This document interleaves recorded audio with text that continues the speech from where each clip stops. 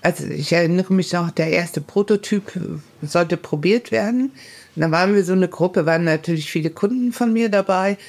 Und dann waren wir da im Garten und einer flüsterte dem anderen zu, aber wir, wir beurteilen das wohlwollend, ne? Wenn, wenn das vielleicht nicht schmeckt, das sagen wir aber nicht. und dann waren wir so froh über dieses tolle Bier. Ihr musstet nicht mal Wir mussten lügen. nicht mal lügen, sondern wir waren einfach nur hin und weg und haben das Auto gleich vollgeladen und äh, ab in den Laden damit. Komm, wir reden über Bier, ob in Flensburg oder Trier, denn alle lieben Bier. Äh, warum eigentlich Trier? Na, wegen des Reims. Ja, hallo Thomas Hund, Blockbräu, guten Tag. Rheinschlede, Braumarkt, Hamburg. Grüß dich, Stefan. Ich bin bei Fiete und Jule vom Wildwuchsbrauwerk. Axel, hallo, schön, dass du dabei bist. Moin, hallo, grüß dich. Ja, hallo, Sascha Bruns von Landgang. Ja, moin. Julia Wesselow, Kervida Kreativbrauerei, hallo. Moin. Wir sind im Bundhaus Schankraum in Wilhelmsburg.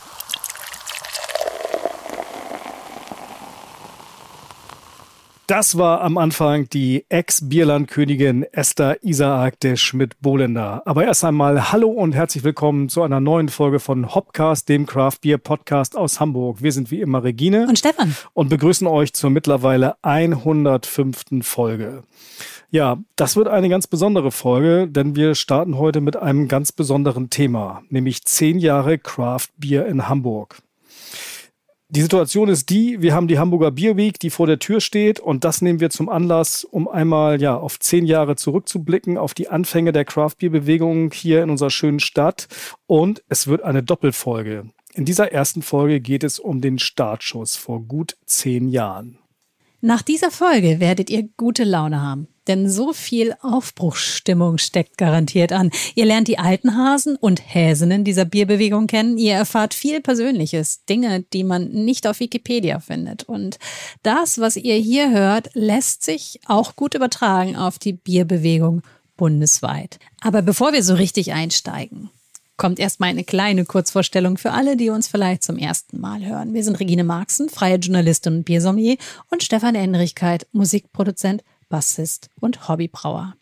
Zusammen machen wir Podcasts, zum Beispiel Hopcast. Hier lernst du spannende Bierpersönlichkeiten, Bierlocations, Bierdestinations und natürlich neue Biere kennen.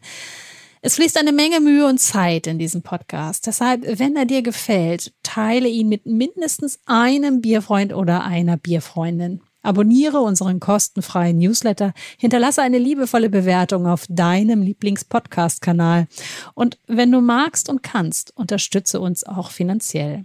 Das geht einfach über Steady. Schon ab 5 Euro bist du dabei. Als Dankeschön lassen wir uns immer wieder ein paar kleine Extras einfallen. Zum Beispiel Zugriff auf Sonderfolgen. Bei der Arbeit für diese Doppelfolge zum Beispiel haben wir so viel Material angesammelt, dass wir gedacht haben, dass wir Supportern die ungeschnittene Schönheit einzelner Interviews zur Verfügung stellen. Für noch mehr Hintergrundwissen. Und wenn du uns mit 10 Euro unterstützt, erhältst du 10% Rabatt auf deine Einkäufe bei der Biothek für die Dauer deiner Mitgliedschaft. Mehr dazu findest du in unseren Shownotes. So, und jetzt zurück zu dieser Folge. Wir freuen uns riesig, dass unsere Freundinnen und Freunde von Hamburg Ahoy uns bei diesem Projekt unterstützen. Hamburg Ahoy stellt euch spannende Geschichten und Köpfe aus Kultur, Lifestyle und der Genusswelt Hamburgs vor. Und hier kommen wir ins Spiel. Denn Hamburgs Bierwelt ist ziemlich lecker und hat viel zu erzählen. Also lasst uns starten.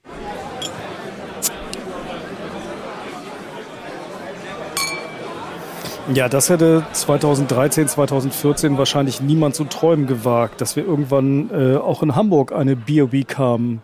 Ja. Als das 2020 losging, natürlich auch post-Corona, äh, ja, das war schon echt toll, zumal das Wetter da auch so super mitgespielt hat. Das hat richtig Bock gemacht. Du meinst die erste Beer Week damals? Ja, die erste Beer Week 2020, genau. Ja, das war ein kleiner Befreiungsschlag und entsprechend war auch der Spirit. Also Ja, Die Leute pilgerten durch die Stadt und haben einfach Spaß gehabt am Bier und an den guten Leuten und an guten Gesprächen und haben Stempel gesammelt von den Locations, ja, die sie besucht besucht halt haben. irgendwie viel draußen sein. Ne? Das war natürlich auch ganz toll und das war 2020 natürlich auch ganz wichtig, dass das möglichst alles draußen war. Ja. Und äh, ja, super, hab da noch schöne Erinnerungen dran. Ich konnte leider nicht so viel mitmachen, weil ich ja irgendwie arbeiten musste, aber äh, so einen ganzen Freitag sind wir da rumgetingelt, das war super. Und in diesem Jahr findet sie jetzt schon zum fünften Mal statt, nämlich vom 12. bis zum 15. September. Und eine Woche lang feiert Hamburg die pralle Bierkultur mit Tastings, Workshop, Tap-Takeovers, einem gemeinschaftlichen Co-Brew namens Hans Blank. Und die Beer Week äh, startete ja eigentlich als Genossenschaft, jetzt inzwischen ist sie eine GBR. Daran sieht man, es ist immer noch Bewegung im Spiel und sie hat irgendwie ihre finite Form auch immer noch nicht gefunden. Und die, die sich hier vor allem engagieren, sind Jens Hinrichs vom Bundhaus, Axel Ohm von Überquell und Brian Schlede vom Braumarkt Hamburg. Und ich würde sagen, lass doch mal hören, was Jens von Bundhaus zur Beer Week zu erzählen hat in diesem Jahr. Die diesjährige Beer Week steht ganz unter dem Motto Back to the Roots. Wir haben damals die Beer Week ja während Corona ähm, gestartet und äh, die, die, die zentrale Idee war, ein dezentrales Event zu haben, wo man eigentlich die Orte in Hamburg entdecken kann, wo es einen Bierbezug gibt. Das ist vom Aufwand halt alles dann nochmal ein bisschen überschaubarer im Vergleich zu einer Celebration, die man komplett auf die Beine stellt. Ja, die Celebration im letzten Jahr hatten wir noch eine, eine große Abschlussveranstaltung. Die Beer Week beginnt ja immer mit einer gemeinschaftlichen äh, Fahrt auf der Elbe mhm. und äh, der Brewers Cruise und äh, endet mit einer Celebration. Und die Brewers Cruise, die gibt es noch, aber die Celebration am Ende die fällt weg. Da hatten die auch im letzten Jahr echt Pech. Also das war draußen Wilhelmsburg eigentlich gut erreichbar. Hätte nicht vorher die äh, S-Bahn-Strecke gebrannt und wäre da nicht noch ein Schienenersatzverkehr gewesen, ein Bus und äh, hätte es nicht auch noch knallhart durchgeregnet.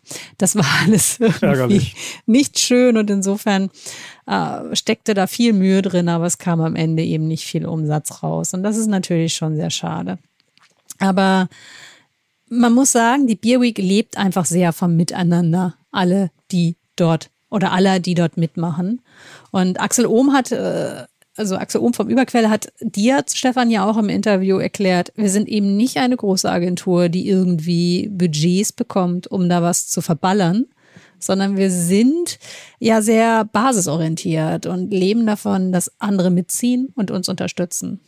Ja, und, und Axel gehört ja auch zu denen, für die so die Verbindung aus Food und äh, Bier eine ganz zentrale Geschichte ist, die er auch sehr gerne vorantreibt. Ne? Mhm. Zum Beispiel auch in dieser Connection mit dem Food Festival Open Mouth. Und im letzten Jahr fand die Beer Week unter dem Dach des neuen Food Festivals ja statt. Und in diesem Jahr findet das Open Mouth vom 12. bis 16. September statt, also zeitgleich. Mhm. Und es wird sicherlich auch Überschneidungen geben. Ne? Ja, Open House steht in Hamburg äh, grundsätzlich dafür, den Erzeuger, die Manufaktur und den Konsumenten zusammenzubringen. Und das ist eine fantastische Idee, weil wir eine Stadt sind, die unglaublich reich ist an, an, an Erzeugern, Landwirten in und um Hamburg in der Region und talentierten Manufakturen. Vielen Konsumenten, Gästen ist das gar nicht so bewusst, was alles aus Hamburg kommt, was wir für ein Gebiet haben. Und die Idee wird halt jetzt zum ersten Mal strategisch von der Stadt verfolgt. Insbesondere die HAT hat da tolle Programme aufgesetzt. Und ähm, wir sind mit der Beer Week unter dem Dach dabei. Wir hoffen, dass die Bekanntheit von Open Mouse auch uns, Brauern, Manufakturen und den Erzeugern, die dahinter stehen, helfen werden, unsere Dinge bekannter zu machen, an, an Personen heranzuführen, die noch, noch nie mit uns Berührung hatten. Das ist enorm wichtig und vielleicht auch ein bisschen stolz aufbauen für das, was Tolles aus der Region entsteht. Wir werden erstmals auf der neu entwickelten Eat and Style dabei sein da nicht über eine eigene Messe oder Ausstellung, sondern über einen Gemeinschaftsstand. Da wird es viele, viele Biere geben. Dort werden wir hoffentlich auch auf viele Konsumenten stoßen. Ähm, die uns dann vor Ort löchern können und verstehen wollen, warum wir, wie das Überquell zum Beispiel, ein Sherry Sour eingebraut hat mit einigen hundert Kilo Kirschen auf, von der anderen Seite der Elbe aus dem alten Land. Davon habe ich gerade schon gehört. Die wurden hier alle mit Liebe entsteint oder ein Großteil wurde sogar entsteint und, und äh, äh, die Guten ins Töpfchen, die Schlechten ins Kröpfchen. ja, wie das so ist. Auf einmal lernst du Kirschen kennen. Die sind nicht nur alle sauer oder nicht alle süß, die schmecken unterschiedlich, haben unterschiedlichen Reifegrad. Ähm, ja, eine ganz, ganz tolle Frucht, die mal eben so in Hamburg Hamburg entspannt wächst, aber nicht mehr so wie früher, weil die klimatischen Verhältnisse es auch nicht so einfach machen. Ja. Kirschen platzen, wenn die Temperaturunterschiede zu groß sind oder zu viel Regen auf sie reindonnert. Wir hatten die, äh, das Glück, mit einem Erzeuger, mit einem Landwirt zusammenzukommen vom Obsthof äh, Busch, der uns da wirklich ganz, ganz toll beraten hat und eine feine Vorselektion vorgenommen mhm. hat, so dass die Handarbeit dann nach wie vor sehr schmerzhaft war, die ganzen Hunderten von Kilo Kirschen zu entkernen. Aber ähm, das, was jetzt dabei rausgekommen ist, macht uns ja sehr, sehr happy und ähm, ist eine schöne Sache, dass wir sowas nicht nur aus Holland oder Belgien importieren müssen oder können, sondern sogar hier in Hamburg fabrizieren können. Ja, und ich hatte das große Glück, das auch schon äh, zwickeln zu dürfen, beziehungsweise auch zwei Flaschen mitzubekommen. Das heißt, wir können jetzt hier nämlich tatsächlich sitzen und es trinken. Und es ist sehr gut. Ja, es ist wirklich ganz toll. Eine wunderschöne Farbe. Es äh, riecht so toll, so, so kirschig, leicht süß. Es ist auch nicht ganz sauer. Es ist nicht ganz sauer, es hat sogar auch so eine ganz leichte bittere. Mhm. Es ist ja aber auch eben, also es ist jetzt nicht wie ein Krieg oder so, eben halt so Nein, eine. Gar nicht. Ganz äh, süße, schwere Kirschgeschichte ist gar nicht. Es ist halt ein schönes, leichtes äh, Sherry Sour. Es ist ein tolles Sommerbier. Auch toll für den Spätsommer und die Farbe ist echt der Kracher. Ja. Rasmus, die Farbe ist der Kracher. Liebe Grüße. Lob. Rasmus ist der Brauer von Überquell.de für alle, die ihn noch nicht kennen. Wenn ihr uns auf Social Media folgt, zum Beispiel auf Instagram, findet ihr dort in den kommenden Tagen ein kleines Interview, das du auch gemacht hast. Ja. Mit Torm und mit Rasmus von Überquell, die dir noch ein bisschen mehr über das Bier erzählt haben. Genau, die haben nämlich auch ganz besondere Etiketten, aber das könnt ihr da alles dann. Ja, an dem Tag habe ich so. dich alleine losgeschickt, weil ich äh, Corona hatte. Hast du die alle abgeklappert? Genau. Die Jungs und Mädels. Okay, was man merkt, wenn man sich mit den Machern der Beer Week unterhält. Also so richtig einig sind sie sich alle noch nicht, wo es denn wirklich hingehen soll. Es gibt da so leicht unterschiedliche Vorstellungen, wie das nun mal so ist, wenn mehr als zwei Personen an einem Tisch sitzen. Aber die Verbindung zum Food und zum Food Festival Open Mouse ist auf jeden Fall eine nicht ganz unwichtige, in welcher Form auch immer man sich dort zusammenfindet. Und am Ende haben sich ja doch alle irgendwie gern. Das sagt zumindest Brian Schlede vom Braumarkt. Der liegt in Hamburg-Altona gleich bei Landgang, bei der Brauerei Landgang um die Ecke. Und der Braumarkt hat inzwischen eine Akademie mit Fortbildungsangeboten und versorgt die Heimbrauer mit Zutaten. Und eine kleine Mikrobrauanlage gibt's dort auch. Brian Schlede hatte schon immer die Heimbrauer im Visier. Er beriet aber auch lange Brauereien. 2015 hatte er sein Unternehmen Brewcraft eröffnet in Hamburg und er wurde sehr schnell zum Hamburger Druide der Braukultur, kann man sagen. und wir hatten ihn auch schon zu Gast in diesem Podcast. Seit 2021 findet man ihn jetzt eben im besagten Braumarkt in Altona. Und hier laufen eine Menge Feen zusammen, denn der Mann ist ein echter Netzwerker. Und wir merken es ja bei der Hamburg Beer Week immer wieder. Wir haben diesen einen Collaboration Brew, wo alle Brauer dabei sind äh, und äh, mit einmeischen und irgendwie mögen sich auch alle. Ja, also ich weiß nicht, ob das in anderen Städten genauso gut läuft, dass man so viel kommuniziert, so ein freundschaftliches Verhältnis pflegt, sich eher als Mitbewerber sieht äh, äh, und ähm, wahrscheinlich auch Leidensgenosse in solchen Zeiten. Aber es ist, äh, ich finde, das, das, das macht den Charme von Hamburg aus, dass wir hier halt so eine positive, sicherlich noch überschaubare Szene haben, aber ähm, wo man so viel an einem Strang zieht und eigentlich eher die Leidenschaft äh, und Liebe zum Bier teilt. Ne? Woher kommt diese große Liebe zum Bier? Wir haben es ja schon am Anfang gesagt, damals 2012, 2013, Anfang der 2010er Jahre in Hamburg, da war das Bier technisch eine kleine Wüste, wenn wir an Vielfalt denken. Und da hätte niemand zu träumen gewagt, dass wir irgendwann heute hier stehen und über sowas wie eine Beer Week, eine fünfte Ausgabe der Beer Week sprechen und über Brauer, die sich toll verstehen und einem an Strang ziehen und Brauerinnen, die nicht Und vor allen Dingen über sehr viele kleine Brauereien. Über sehr viele kleine Brauereien. Das ist wirklich toll.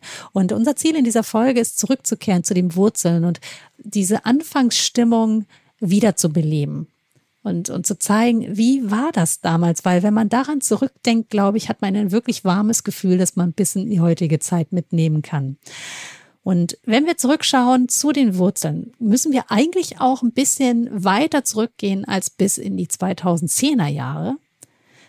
Eigentlich bis ins Jahr 2005. Denn da war eine Esther Isaac de Schmidt-Bohländer, diese Frau mit dem Wahnsinnsnamen. Ja.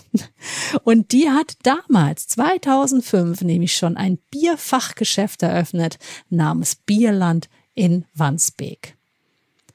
Eigentlich eine total crazy Geschichte, weil Wandsbek ist keine fancy Gegend. Und es Nein, war so ein Laden. Nicht. Genau. Es war so ein Laden im Souterrain, Souterrain eines Mietshauses.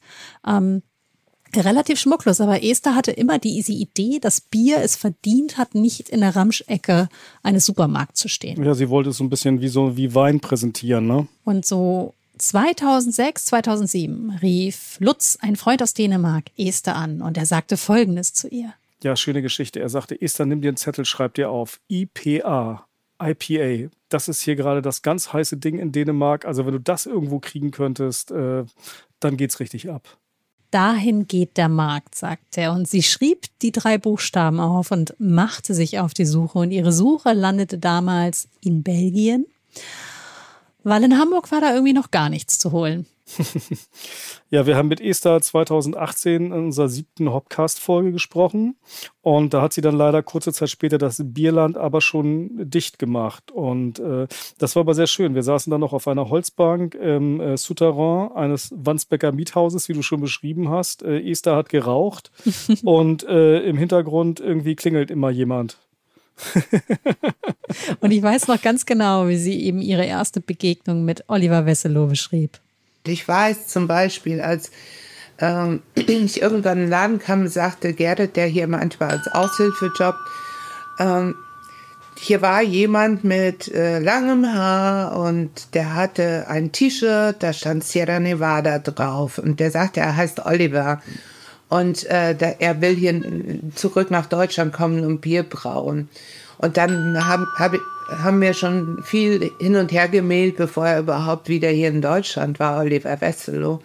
Und die, die Freude darüber, dass er hierher kommen wollte, die, die war einfach unbeschreiblich. Also das, das, das elektrisiert richtig, wenn man in so einer Wüste unterwegs ist. Mhm. Und dann, ähm, also ich erinnere mich noch, der erste Prototyp sollte probiert werden. Und dann waren wir so eine Gruppe, waren natürlich viele Kunden von mir dabei waren wir da im Garten und einer flüsterte dem anderen zu.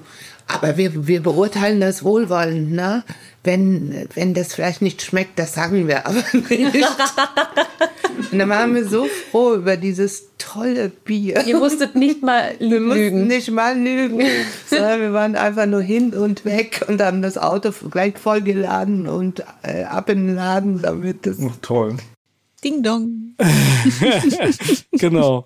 Das Prototyp, ein kalt gehopftes Lager, ein IPL sozusagen, ein India Pale Lager, mhm. war das erste seiner Art in Deutschland damals. Und Esther hat, nachdem sie den Laden aufgegeben hat, äh, ist sie nach Wittenberge gezogen und predigt dort aber auch noch das Bier, soweit oh, ich ja. weiß. Oh ja, sie predigt das Bier und wir haben sogar noch ein Buch zusammengeschrieben mit Stimmt. Sinje und äh, André Krüger, Sinja Nikolaisen, André Krüger und ganz viele Bierfreundinnen und Freundinnen haben da Texte zusammengeworfen. Unser täglich Bier gibt uns heute, heißt mhm, das. Genau. Und mhm. Olli Wesselow, äh, den hat es 2027 in den Süden gezogen. Er ist aber immer noch Gesellschafter von Kehrwieder und entwirft auch noch Rezepte, falls Bedarf ist. Und ähm, ja, Julia Wesselow macht jetzt den Laden alleine mit Konstantin Bölk, dem Brauer an ihrer Seite. Und äh, sie erinnert sich auch noch gut an damals also es war schon so eine Aufbruchstimmung. Also wir sind ja aus den USA zurückgekommen und da war ja äh, Craft Beer schon völlig gesetzt und normal und wir waren immer noch so voll dieser Begeisterung von der Vielfalt und kamen nach Hamburg und dann gab es so erste Pflänzchen, wie jetzt auch äh, Ratsherrn hat er ja gerade neu aufgemacht. Olli hatte damals ja das Sudhaus selber gebaut und das stand dann irgendwie auch rum und wir hatten keinen Standort und dann ist er mal nach Dänemark gefahren, hat da das erste Prototyp gebraut. Und als wir in 2014 den Standort hatten, war unser Prototyp schon viel zu groß für dieses Sudhaus. Ja. So dass wir immer, ich sag mal, parallel gefahren sind und in Nittenau gebraut haben, aber eben auch immer in, in Sinsdorf auf dieser selbstgebauten Anlage. Ähm, das hat auch gut funktioniert, da haben wir viele Spezialitäten gebraut. Das hat, glaube ich, auch der Biervielfalt und der Szene gut getan weil er auch ein sehr kreativer Kopf war. Er hat dann irgendwann auch mit den Fassreifungen angefangen. Und 2015 ist dann, glaube ich, ich sag mal, für uns der Knoten geplatzt mit dem Alkoholfreien. Und wieder ein Trend gesetzt, in dem Olli die träge, bocklose Hefe aus dem Hut gezaubert hat, die äh, schnell zuckermüde ist und sehr früh ihren Job aufgibt, sprich, die nicht den gesamten Zucker in Alkohol verarbeitet und dann einfach ihren Dienst einstellt. Chapeau. Hm. Olli Wesselow. Das Ün wurde geboren und das ist bis heute ein Kassenschlager und wirklich ein richtig gutes alkoholfreies Bier. Und einer, der zu Beginn im Team Kervida war und das besagte Prototyp mitentwickelt hat und der dann vor sieben Jahren seine eigene Brauerei in Wilhelmsburg geöffnet hat, ist Fiete Mattis. Sein Wildwuchsbrauwerk ist Hamburgs erste und einzige Biobrauerei und am 7. September, also ziemlich bald, feiern Jule und Fiete ihren zehnten Geburtstag, also den zehnten Geburtstag von Wildfuchs Brauwerk, nicht ihren zehnten Geburtstag. Die sind ein bisschen älter und dürfen auch schon Bier trinken. Und Fiete macht auch verdammt gutes Bier. Ich mag sein schlankes nach wie vor immer sehr, noch sehr gern und sein Bock Orange solltet ihr probieren, falls ihr es noch nicht gemacht habt. Wie hat denn Fiete damals die Zeit erlebt? Definitiv. Vor zehn Jahren waren, wenn man sich die Zeitungen anguckt, alles voll. Jeder hat eigentlich über Bier berichtet. Und ähm, alle waren voller Vorfreude. So, wir haben gerade letzte Woche mit, äh, mit Nils Timmern mhm. äh, zusammengesessen, haben ein paar Bierchen probiert und gesagt, ey, sowas haben wir vor zehn Jahren eigentlich wöchentlich gemacht. Und mhm. ähm, das, das findet man heute eigentlich weniger. So, das ist äh, diese äh, klassischen Craft Beer Days, wie sie ja genannt wurden oder auch immer noch genannt werden teilweise, ähm, die sind doch sehr zurückgefahren. Äh, so, das, mhm. das war vor zehn Jahren komplett anders. Eigentlich haben alle Bier gewollt. ich mag Fietes Lache so gern. Ja, und alle, die Bier gewollt haben, sind damals äh, zu Ratsherren ins alte Mädchen gegangen. Das war natürlich wirklich echt richtungsweisend. Das erste Braugasthaus seiner Art in Hamburg. Und Axel Ohm war derjenige, der das Kraftbier damals noch für das alte Mädchen mit nach Hamburg geholt hatte. 2017 wiederum hat er zusammen mit Patrick Rüther das Überquell am Hamburger Fischmarkt eröffnet und damit die äh, neapolitanische Pizza quasi nach Hamburg zum Bier gebracht. Auch eine sehr, sehr schöne Kombi. Für äh, Patrick und äh, Axel ist die Inszenierung vom Bier auch gerade in Verbindung mit Speisen und einem schönen Ambiente auch immer ein ganz wichtiger Fokus, den sie setzen. Patrick ist ja auch ein Fachmann und zwar ein Fachmann für Erlebnisgastronomie. Er hat zum Beispiel mit Tim Melzer zusammengearbeitet und die Bullerei mit hochgezogen. Und äh, ich würde sagen, mit Axel und mit Patrick haben sich wirklich zwei gefunden. It's a match, kann man sagen. Wie hat denn Axel Ohm die Zeit damals Anfang der 2010er in Hamburg erlebt? Hm, war einer von mehreren, die eine Idee hatten, Bier anders zu inszenieren. Craft Beer war damals der Begriff, stimmt. Wir haben mit dem alten Mädchen damals Dinge gemacht, die außergewöhnlich waren, äh, man so vielleicht nicht kan kannte. Und haben ein Jahr vor der Öffnung des alten Mädchens äh, die erste Craft Beer Veranstaltung in Hamburg überhaupt auf die Beine gestellt. Im ja. Innenhof, Baustelle. Und das war rückblickend nach wie vor so ein totales Aha-Erlebnis. Und natürlich auch totaler Pioniergeist, ne? Wahrscheinlich. Also jetzt, wir machen sowas richtig Neues und sind da an was dran und das startet richtig durch. Ja, na klar, war die Idee, etwas zu machen, was es natürlich schon im Ausland gab. Mhm. Ich habe vorher lange in Südafrika gelebt oder in, in, in anderen äh, Ländern der Welt gesehen, wie das Thema Craft Beer überhaupt zum Thema sich entwickelt hat. Und ja, das Schöne war, ähm, dass wir uns einfach ja, den, den, den Freiraum genommen haben, sowas umzusetzen.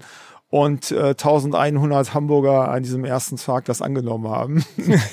und von daher war klar, wow, hier haben wir was angestoßen, was äh, wirklich auf Interesse ähm, sagen wir mal, stößt ähm, und was ähm, ja auch neues Erlebnis war, Trinkerlebnis, neue Gläser, neue Formen von der, in der Verbindung, Vielfalt, Menschen, die auf einmal hinterm Tresen identifizierbar waren und nicht Promo-Girls, sage ich mal, so vom Supermarkt und und und. Das waren so viele Bilder, die durch äh, damals äh, entstanden sind und die irre Spaß gemacht haben.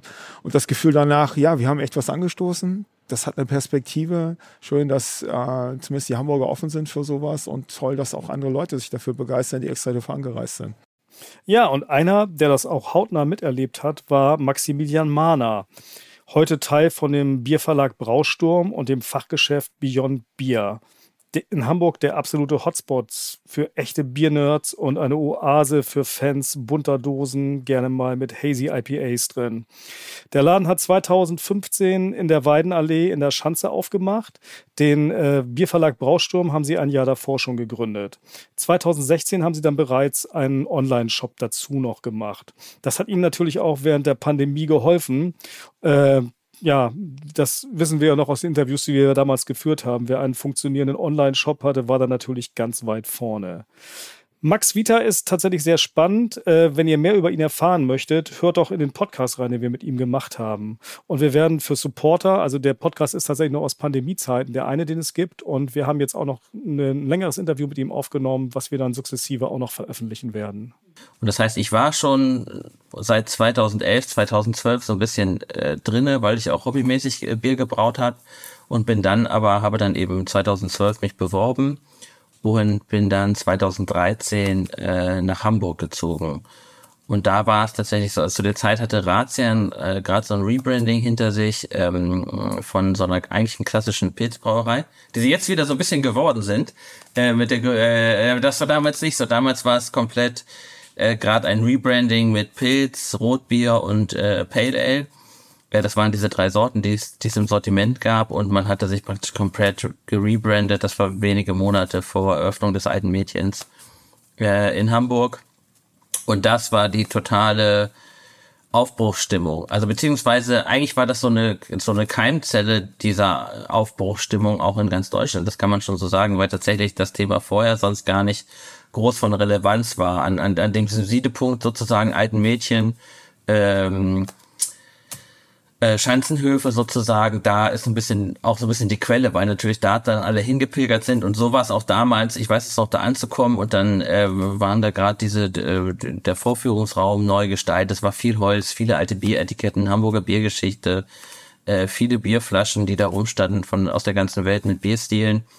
Und da ist man morgens hingekommen und war total gehypt, weil alle Leute, die dann dahin gepilgert sind, sozusagen auch total geflasht waren. Also jede Brauereiführung äh, vor zehn Jahren war es ja so, da, da, da gab es noch nicht dieses Verständnis für, was ist Pale Ale, was ist IPA, wo, was sind das für Aromen, wie kommt das ins Bier, sondern da war jeder, der kam, den hast du da abgeholt. So, ne, das ist so, jedem, der irgendwie noch sein, sein Feuer mit dem Feuerstein angemacht hat, hast du dann ein Feuerzeug vorgeführt, so ungefähr, ne?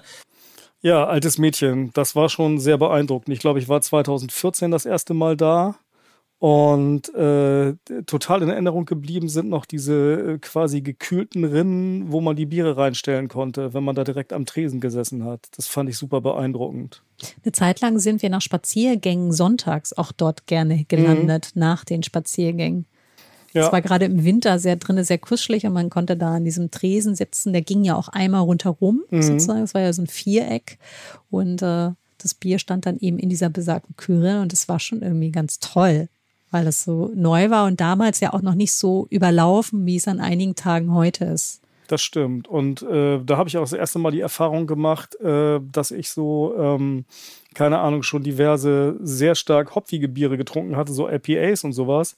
Und äh, dann habe ich einen, äh, einen Zwickel getrunken und das schmeckte total scheiße. Also es schmeckte wirklich wie, wie nach überhaupt nichts. Also auch nicht so, wie es sollte halt. Also das, das wusste ich damals schon. Und dann bin ich aber aufgeklärt worden, dass man das äh, quasi, dass ich ja rückwärts getrunken habe, wenn man so will. Und dass das so einfach nicht funktioniert. Lernen in der Praxis. Lernen in der Lernen Praxis. durch genau. Erfahrung. genau. Aber lass uns doch mal jemanden fragen oder zu Wort kommen lassen an dieser Stelle, der eng verbunden ist mit der Marke Ratsherrn und mit dem Altes Mädchen, nämlich mit Niklas Nordmann, der seit rund anderthalb Jahren Geschäftsführer ist Mhm, Und äh, den von wir Ratsherrn. 2018, glaube ich, das erste Mal kennengelernt haben. Ne? Richtig. Und der hat das Ganze natürlich auch begleitet, auch wenn er jetzt erst seit 1,5 Jahren Geschäftsführer ist. Mhm. Das ist ein Familienunternehmen, nicht? Also insofern kann er sich auch an den Anfang erinnern. Äh, ich habe das damals gar nicht verstanden, um ehrlich zu sein. Also ich habe, äh, ich war ja dann noch im Abi äh, und habe gedacht, oh, was was passiert da? Also ich habe da ja auch gar nicht äh, mitgewirkt zum Start, äh, muss ich sagen. Ich war noch in Stralsund, weit entfernt und habe mein Abitur gemacht und habe das nur so ein bisschen äh, mitverfolgt ähm, und ja, äh, habe das erstmal gar nicht so richtig äh, wahrgenommen oder wusste nicht, was es ist, weil ich auch nichts äh, jemals von Craft Beer oder sowas gehört habe. Also für mich gab es eben auch nur die bekannten Marken. Ähm, und dann bin ich aber 2013, äh, genau, nach dem Abitur dann, äh, habe dann in Kanada gearbeitet, bin durch die USA gereist und habe dann auf eigene Faust dann äh, gesehen, was eigentlich dieses Craft Beer ist, äh, äh, was da dahinter steckt und habe dann wirklich äh, ähm, ja eine Brauerei nach der anderen abgeklappert. Ich war glaube ich dann äh, bei 30, 40 Brauereien an der an der Westküste, habe dann auch oftmals die Leute direkt äh, äh, zu schnappen bekommen und äh, habe mich dann total für das Thema irgendwie begeistert und als ich dann zurückgekommen bin, da war ich dann voll into it und äh, ja, habe mich dann versucht auch ein bisschen einzubringen, ja.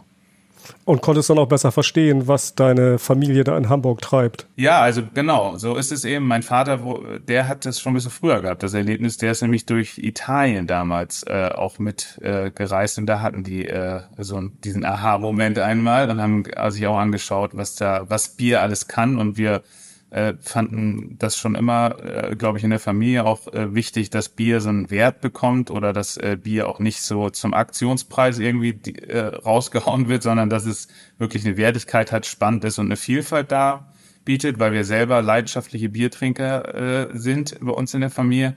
Und äh, genau, das war äh, dann für ihn der Aha-Moment, aber ich konnte es zum Start noch nicht ganz begreifen und das war im Rückblick natürlich Wahnsinn, was, was, da, was das auch für ein mutiger Schritt war, weil die Branche einfach viel konservativer war und alle haben auch innerhalb der Brauerei damals gesagt, sag mal, was ihr da macht, das, äh, das verstehen wir nicht und das, das können wir auch nicht nachvollziehen teilweise. Ne? Ja. Ratsherrn ist heute mit einem Ausstoß von über 50.000 Hektoliter im Jahr die größte inhabergeführte Brauerei in Hamburg, gefolgt von Landgang. Die eröffnete, anfangs noch unter dem Namen Hopperbräu, 2015 in Hamburg-Altona. Ich habe die tatsächlich schon vorher entdeckt, bevor sie die eigene Brauerei hatten. Lustigerweise hatten die nämlich einen Stand in der äh, Rindermarkthalle. Und äh, wenn ich mit meinem Sohn beim Kung Fu war, beziehungsweise er war beim Kung Fu und ich hatte anderthalb Stunden Zeit, habe ich da immer gesessen und ein paar Bierchen getrunken. Das war immer total nett. Also das. Äh, Du warst sehr traurig, als äh, sie zugemacht haben. da, dazu gemacht haben und da sind ja nicht weit weggezogen, aber zumindest war so mein äh, äh, Spaß da immer in der Zeit, wo er beim Kung Fu war. war Glücklicherweise hat er danach ja kurz danach auch das Kung-Fu-Erlebnis aufgegeben. vorbei. Ja, eine Zeit lang hat er das noch durchgezogen, aber es, ist, war, es war alles nicht mehr dasselbe. Das war nicht so schön, genau. In Altona haben sie eine große Halle mit einem Brewpub drin. Und äh, ja, man konnte da sein Bier quasi direkt neben dem Tank trinken. Kann man Kann man heute immer auch noch, noch. Genau. genau. Das war damals halt für Hamburger Verhältnisse ziemlich neu, das Bier halt so erlebbar zu machen, sich das alles genau anschauen können, zu können, wie das da halt so frisch gebraut wird. Ne? Sowas findet man ja zum Beispiel auch noch in Kiel bei Lillebräu. genau. Ja, Ja. oder wir waren ja in Bremen gerade bei Hopfenfänger, da ist es ja auch so, ne? Und im ersten Jahr von äh, Landgang hat Sascha Bruns, Mitinhaber und Chefbrauer, äh, ja quasi erste Versuchssude gemacht und 2016, wie gesagt, äh, hat dann die Brauerei aufgemacht. Anfangs unter dem Namen Hopperbräu, später halt Landgang, weil da gab es so kleine Konflikte mit Hoppebräu in Bayern. Die gab es nämlich schon länger und der heißt ja auch noch so. Hm, schlechte Argumente. Genau, und heute sagt Sascha, würde er die Gastronomie von Beginn an größer planen. So, was sie ja in Kiel zum Beispiel gesagt haben bei Lille, dass das das Ding war, was für sie ganz wichtig war. Ne? Ja, die kamen später, die konnten schon lernen. Genau. Mhm. Aber äh, hören wir uns doch mal an, was Sascha über die Anfangszeit der Craft-Bier-Bewegung in Hamburg zu erzählen hat. Das Gefühl war ein Gemisch aus vielen. Ähm, ich glaube, es ist ein großer Teil war Naivität. Dann natürlich Schaffenslust und äh, Kreativität. Also ja. wir hatten schon sehr, sehr, sehr viel Bock, weil das Gefühl 2015 war, okay, ähm, Craft Beer wird die Welt verändern, definitiv. Ja. Kann man so oder so bewerten jetzt im Nachhinein. Ähm, dann natürlich war mir als ich die Rezepte gemacht habe und als wir die ersten Lungensude gemacht haben und als die ersten nicht-Freunde und Familie das Bier getrunken haben, war mir ganz ehrlich ziemlich mulmig. Ja. Also ich dachte, oh Gott, die trinken das jetzt wirklich. ähm, aber was sich von damals bis heute eigentlich nicht, nicht großartig geändert, ist die, ist die Freude daran, die ich, die ich verspüre dabei. Ähm, das ist Gott sei Dank gleich geblieben. Aber wie gesagt, am Anfang sehr viele gemischte Gefühle. Ja. Ähm, ich kann mich noch dran erinnern, an Tag vor der Eröffnung, also vor dem allerersten Brauereifest, äh, stand ich morgens in der Dusche und meinte zu meiner Freundin, ich, ich will da nicht hin. Tatsächlich. Ja. Da ist so gleich ein Panikmoment. weil du, weil du Angst gehabt hast, dass es nicht funktioniert, oder? Ja, das ist, glaube ich, aus diversen Gründen. Einfach so, so, so ein bisschen, äh, man nennt das ja äh, Imposter-Syndrom, dass du irgendwie dachtest, heute, heute fliegt der ganze Schwindel ja, heute, auf. heute explodiert alles. Dabei waren Sude im Tank, war abgefüllt, alles lief. Wir hatten vorher das Soft-Opening, das hat auch alles halbwegs gut funktioniert. Also wie so ein Soft-Opening halt funktioniert. Ja, ja. Äh, hier und da hakt es immer noch. Und äh, genau, am Tag, als es dann wirklich losgehen wollte, war ich so, boah, nee. Einer, der im selben Zeitraum aktiv wurde, war einer, der jetzt nicht gerade zu den Superlativen neigt, aber ebenfalls voller Tatendrang steckte. Simon Siemsglüß von Buddelschip. 2014 braute er das erste Mal in seiner Brauerei in Hamburg, aber seine ersten Biere verkaufte er erstmal nach Hongkong bis er den heimischen Markt dann doch lieben lernte. Inzwischen ist die Brauerei in Hamburg geschlossen und Simon, seine Frau Nienke und die zwei Kids sind aufs Land Richtung Bremerförde gezogen und arbeiten dort daran, eine Brauerei zu eröffnen und äh, bauen da auch eine neue Marke auf, nämlich Lost Horizon wo sie so Farmhouse-Ale-Geschichten machen wollen. Ganz tolles Projekt. Auch dazu gibt es einen Podcast. Mit der Bar Orlam haben sie aber immer noch einen Brewpub in Hamburg und zwar in der Neustadt. Und lass doch mal Simon fragen, wie er das Ganze so erlebt hat. War erstmal spannend vor allen Dingen, ähm, weil man ja so ein bisschen ins Blaue geschossen hat und äh, eigentlich noch gar nichts existierte so in der Art. Und bei mir waren das auch alles sehr Erfahrungen aus dem Ausland und äh, ja, ähm, insofern war man da sehr euphorisch irgendwie, wie das Ganze laufen wird. Und äh, natürlich umso mehr, dass man die eigene, dass ich die eigene Brauerei hatte und da äh, direkt das machen konnte, was ich wollte, beziehungsweise meine, meine ganzen eigenen Ideen umsetzen konnte. So, das war, das war spannend. Das Sortiment war natürlich jetzt sehr ähnlich, was ich da in Hongkong gemacht habe oder, oder in Hamburg, weil das einfach auch meine ja, im Prinzip das, worauf ich Lust hatte, war an Bieren oder was ich selbst gut fand. Und äh, Schwarzbier war natürlich dann auch direkt dabei und äh, die Core Range, in Anführungsstrichen, die ich ja jetzt auch immer noch habe, war eigentlich auch das, was als erstes rauskam, so für Buddelship, ähm, Schwarzbier, Pilz, IPA, Pale Ale und dann gab es noch den, natürlich den blanken Hans und roten Klinker, sowie das Brügge und das Gotland Porter. Das waren so die acht Biere, die eigentlich für mich so die ich eigentlich immer irgendwie da haben wollte. Ähm, war halt noch eine andere Zeit, ne? Da gab es das noch nicht mit New England und diese ganzen, ähm, ja, die, diese, dieses äh, immer wieder was Neues rausbringen, das war da noch gar nicht so existent als Thema. Deswegen ähm, war eigentlich mein Fokus relativ eine schöne Bandbreite an verschiedenen Bierstilen zu haben, die alle irgendwie einen Bezug hatten zu Hamburg. Jemand, der ebenfalls genau die Biere braute, auf die er Bock hatte, war Ian Faulkner von Simeon Ales.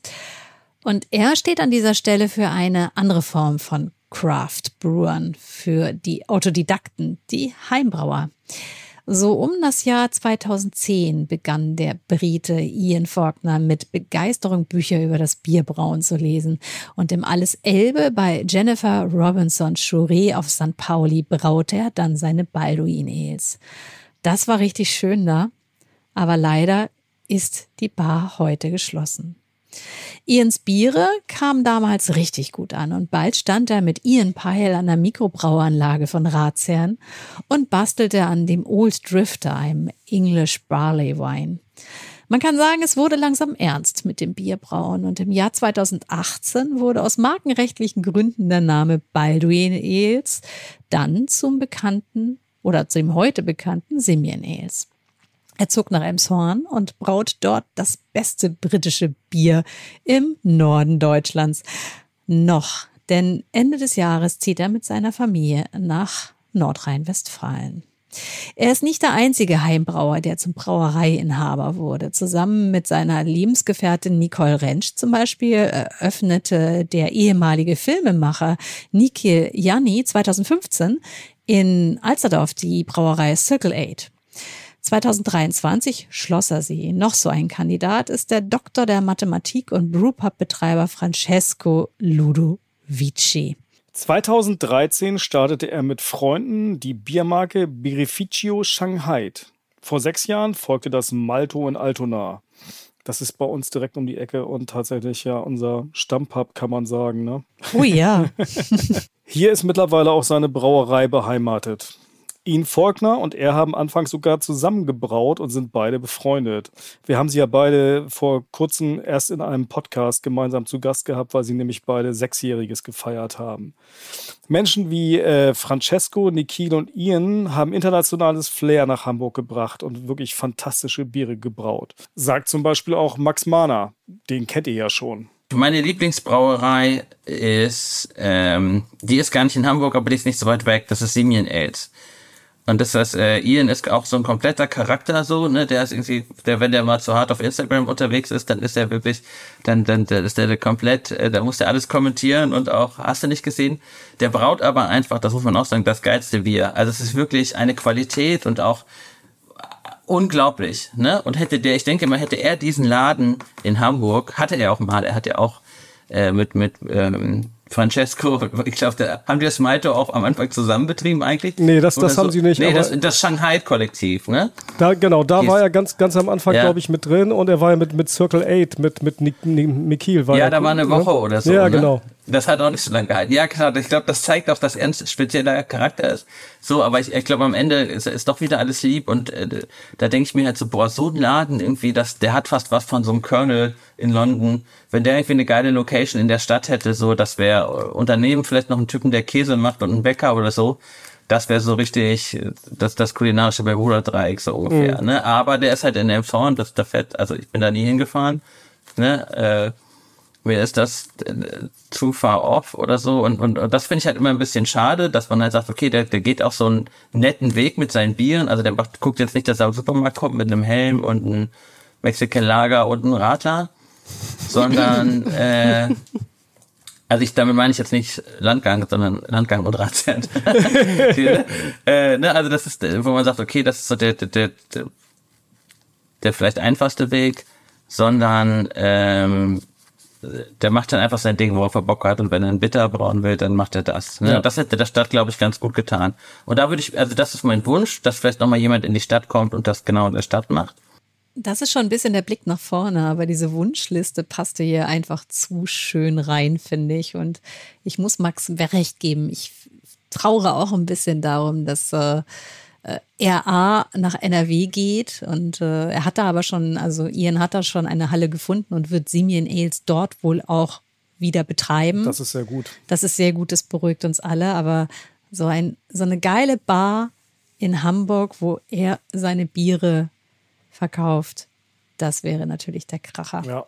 Aber im Gegensatz zu Max sind wir ja auch das ein oder andere Mal nach Elmshorn gefahr- gefahren, nicht wahr? Ja, das Aha. stimmt. Okay, die Hobbybrauerbewegung, die war von Anfang an, stellen wir fest, ziemlich wichtig für Hamburgs Bierwelt. Und so mancher Hobbybrauer hat ein mehr oder weniger veritables Bierunternehmen auf die Beine gestellt. Jens Hinrichs zum Beispiel ist ja auch ein Heimbrauer, ne? Ja. Den haben wir ja auch schon gehört. Bunthausgründer und Mitinitiator der Hamburg Bierweg. Seine Brauerei hat einen eigenen Taproom, der liegt im Verdüsungsgebäude neben dem ehemaligen Wasserwerk im Inselpark inmitten im Grün. Also im Sommer kann man da wirklich toll hinradeln. Das Verdüsungsgebäude, so, so. Ja, im Sommer kann man toll hinradeln. Im Grunde sagt Jens, hat er sich hier seine eigene Kneipe gebaut. Und donnerstags und freitags haben sie dort auf, ausgesuchte Öffnungszeiten. Also jetzt hat Familie und einen Hauptjob. Und insofern hat man da nicht täglich auf. Familienleben muss ja auch sein, sagt er. Und die kann nicht nur in der Bar stattfinden. 2017 im Herbst eröffnete Bunthaus dort. Und ich weiß noch, dass Daniel Ehlich, der Biersommelier bei Ratsherrn zu der Zeit war und eine Bierkolumne in der Szene Hamburg hatte, die ich auch unter anderem betreut habe zu dem Zeitpunkt, weil ich damals dort gearbeitet habe, diesen Ort so sehr geliebt hat. Daniel lebt heute in Kiel. Ich glaube, der macht gar nicht mehr so viel mit Bier beruflich. Ich glaube, der ist genau aus diesem ganzen Gastro-Ding Mhm. komplett raus, ne? Ich glaube ja. Und War für uns aber auch eine sehr wichtige Bierpersönlichkeit am Anfang, weil den, der ist ja auch in unserem allerersten Podcast dabei. Den kannten wir auch schon vorher, ne, durch diese deine Connection mit der Szene Hamburg. Und ähm, der war auch ein ganz treuer Hörer immer die ganze Zeit. Das hat uns natürlich dann auch total motiviert, dass dann so quasi so ein Star wie Daniel Ehlich äh, großer Fan davon war. absolut. Ja, insgesamt äh, waren ja auch wir vollkommen hingerissen von dieser Szene und haben diese Aufbruchsstimmung, auch wenn wir jetzt erst 2017 mit dem Podcast dazu gestoßen sind, ja seit 2015 auch äh, miterlebt. Ja. Und das war schon wirklich ansteckend. Jemand, der allerdings noch voll drinne ist, obwohl der einen Hauptjob hat, ist eben nach wie vor Jens Hinrichs. Und wir haben ja schon gehört, was er zur Bierweek sagt, aber so richtig, was er zu der damaligen Zeit gesagt hat, wie sich das anfühlte, haben wir noch nicht gehört. Und ich finde, jetzt ist es Zeit, Jens Hinrichs nochmal zu Wort kommen zu lassen. Ich glaube, ich war voller Tatendrang. Ähm, ich habe das ja zusammen mit Jens und Jakob damals gestartet. Hatte da Jens auch relativ früh kennengelernt und war auch so ein bisschen, hatte so einen kleinen Crush, äh, so einen Man-Crush auf Jens. Und ha- hatte irgendwie Lust, mit ihm was zusammen zu machen. Von daher ähm, war das schon so eine Zeit, wo wir dachten, okay, wir können jetzt hier irgendwie was bewegen, was Besonderes machen, was etwas machen, was es noch nicht gibt oder was es vielleicht in dem Sinne noch nicht gibt, auch hier in Wilmsburg was Neues zu machen. Das waren so die Gefühle, die ich damals hatte, ja. Ja, und genau wie wir eben halt äh, Daniel Ehlich erwähnt haben, gab es natürlich auch Persönlichkeiten, die diese Szene geprägt haben, die eben halt nicht eine Brauerei hatten. Ne? Also zum Beispiel denken wir mal an Sophia Wenzel. Die ist ja auch in einem sehr frühen Podcast von uns gewesen, die ja auch irgendwie so eine der frühen äh, weiblichen Biersommeliers in Hamburg war. Sehr präsent, große Medienpräsenz auch. Und äh, weil die einfach eine sehr ansteckend äh, positive Art hatte und auch Mhm. eine tolle Art und Weise hatte, Bier zu erklären. Das war Ja. so wunderbar niedrigschwellig und das mögen Medien ja. Mhm. Und äh, sie hat auch wirklich Ahnung. Also Total. das war wirklich fantastisch und war total bierverliebt. Und sie hatte auch noch diese tollen Fotos von Anatol Kotte. Das, das war auch echt der Kracher, dieser Auftritt. Ganz, ganz toll. Sie ist inzwischen ein wenig abgetaucht. Ich muss sagen, ich weiß gar nicht, was sie jetzt derzeit macht. Sie hatte ja diese Marke Lotsekorn noch. Ja, genau, eine Ähm, Kornmarke. Der war auch, ich bin überhaupt kein Korn-Fan. Aber man kam ja nicht dran vorbei, man musste ihn probieren, wenn man sie getroffen hat in der Zeit. Und ich muss sagen, es war eigentlich sogar ein ganz guter Korn. Also er war ein bisschen milder. Und ich erinnere mich an eine Feier bei uns, da haben Menschen den den ganzen Abend getrunken, die jetzt Ja, auch ja. sonst nicht zu Korn trinken neigen. Stimmt, ja, ja. Also wir haben auch noch einen Rest hier stehen. Bei der nächsten Party geht der dann hoffentlich weg irgendwie, weil so harte Sachen sind ja nun gar nicht so unsers, aber irgendjemand finden, der das austrinkt. 2022 hat sie diese Marke aber verkauft und jetzt ist es ein bisschen still um sie geworden. Sophie, wenn du das hörst, ganz, ganz liebe Grüße an dich und äh, wir haben uns so gefreut, dass auch du uns damals so unterstützt hast und sofort Ja gesagt hast, als Ja. wir angefragt haben, ob du mitmachst, zum Beispiel bei unserem Live-Podcast mit ja, das Fiete. war echt ganz, ganz toll. Also fühlten wir uns voll geehrt, dass so ein Star da sozusagen dabei ist. Aber neben den Brauern und Biersommeliers gibt es ja noch eine dritte Gruppe von Menschen, die ganz entscheidend waren, äh, nämlich äh, Gastronomen. Ne? Ja. Haben wir natürlich auch schon welche gehabt, die das halt so in der Kombi hatten, aber es gibt auch welche, also sprich, die irgendwie quasi Braupubs betrieben haben. Aber es gibt eben auch Leute, die äh, ja einfach so Gastronomen waren, nämlich zum Beispiel Gerrit Lerch, der äh, Inhaber der Schanzenbar Galopper des Jahres. Und der war also auch ziemlich wichtig, ne? der war wirklich wichtig, weil der von Anfang an auch so begeistert war und diese Bierbewegung sehr stark unterstützt hat. Und es gab ja eben einige, die eben keinen eigenen Brewpub hatten, die später dann einen eigenen bekommen haben, weil sie gemerkt haben, wie wichtig das ist. Es gibt welche, die haben bis heute keinen und es ist aufgrund der Gastroverträge ja wirklich schwer, sein Bier an den Hahn zu bringen. Ja. Und äh, Gerrit war einer, der da echt viel möglich gemacht hat. Und zum Beispiel Fiete hat erzählt, dass er auch am Anfang ja auch äh, eine Zeit lang bei Gerrit gearbeitet hat und deswegen auch wusste, dass er halt einen Pilz machen muss. Deswegen war sein erstes Bier ja bei äh, äh Wildwuchs Craft Bier untypisch ja halt sein Fastmoker Pilz, weil er halt gemerkt hat, die Leute kommen in die Bar und dann gibt es halt eben Leute, die sagen, ich will ein Bier und wenn du dann sagst, was für ein Bier, dann überlegen die, hm, keine Ahnung, ist so viel, gib mir mal einen Pilz. So und äh, die muss man abdecken können. Siehst du? Auch da wieder in der Praxis gelernt. Ja, die, diese Orte sind eben extrem wichtig gewesen, gerade am Beginn, ne? weil so die Craft Beer Bar zum Beispiel von Michael Solms, die kam erst 2019 nach Hamburg. Mhm. Äh, dann gab es so diesen kleinen, großartigen Leuchtturm, äh, nämlich das besagte Alles Elbe auf St. Pauli in der Hein-Heuer-Straße. Ganz toller Laden. Ähm, das gab es schon 2014, das hat die Bierkultur angefeuert. Und dann später kam dann auch noch sowas wie Brewdog dazu, die zumindest Gasthähne hatten oder eben das Malto, die ja auch immer Gastbiere haben. Mhm. Aber die kamen alle so, ja, ich sag mal so 2018, 19 grob nach. Ne? Und am Anfang war da wenig. Deshalb sind Leute wie Gerrit wirklich sehr wichtig und er steht exemplarisch für eine Reihe von Gastronomen, die sich früh für dieses lokale Biere, für die lokalen Biere interessiert haben. Ja. Und ich finde, lass mir Gerrit doch mal zu Wort kommen. Mann, am liebsten würde ich jedem einzelnen Brauer, den ich gerne habe, äh, sein Bier abkaufen.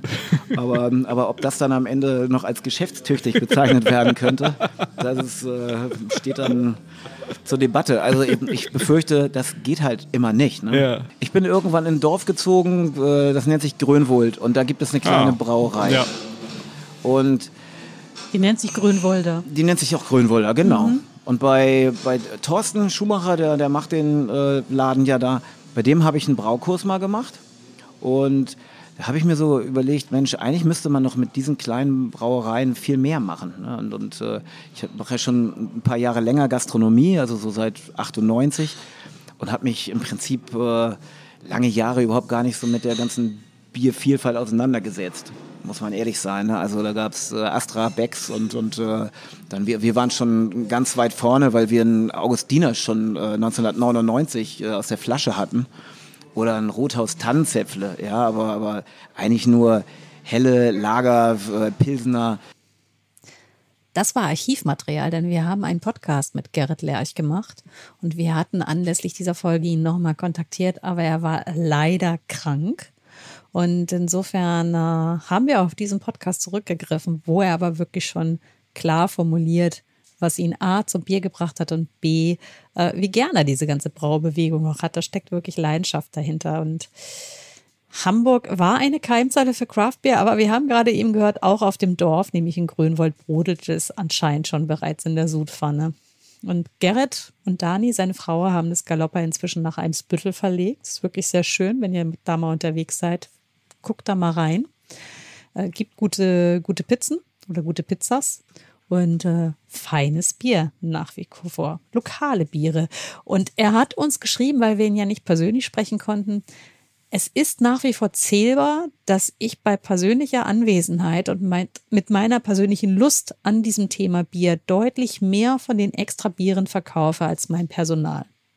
Also, es ist immer noch wichtig, dass der Mensch, der das Bier verkauft, eine Ahnung hat und diese Geschichte des Bieres erzählt. Ja, das, das erzählen ja alle immer wieder, ne? dass man mhm. eigentlich irgendwie, äh, ja, da, da, da, deswegen natürlich auch die Biersommeliers am Anfang, ne? die ja. halt diese speziellen Biere auch verkaufen mussten. Das war halt völlig klar. Du musst wirklich äh, Überzeugungsarbeit leisten. Ne? Richtig.